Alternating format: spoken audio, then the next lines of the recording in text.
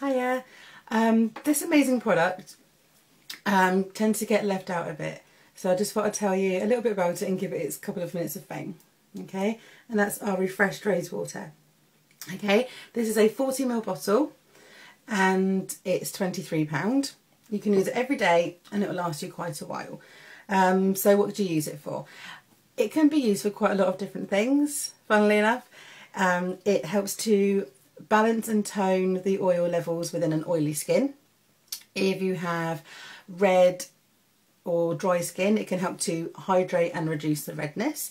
It's an anti-inflammatory. It helps to decrease the damage made to your elastin fibres within your skin. It helps to clean and purify. It's good for cuts and scrapes. If you have any little ones that fall over, you can just spray a little bit on there and that'll help to soothe and cool down the area. If you go out in the sun and get a little bit on the burnt side, it can also help with the redness and to soothe and cool the sunburn too. It helps to regenerate your skin tissue. You can use it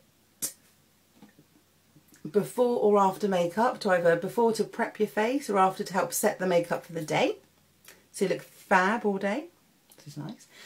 You can use it for shaver's rash.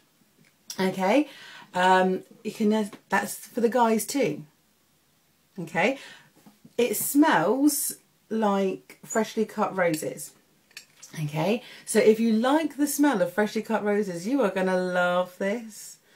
It is absolutely divine. Okay, so if you if your other half who suffers with like maybe like shaver's rash, and you say to him, "Hey, hun, try this," and he's like, "Whoa, dude, that smells a bit too much like flowers for me."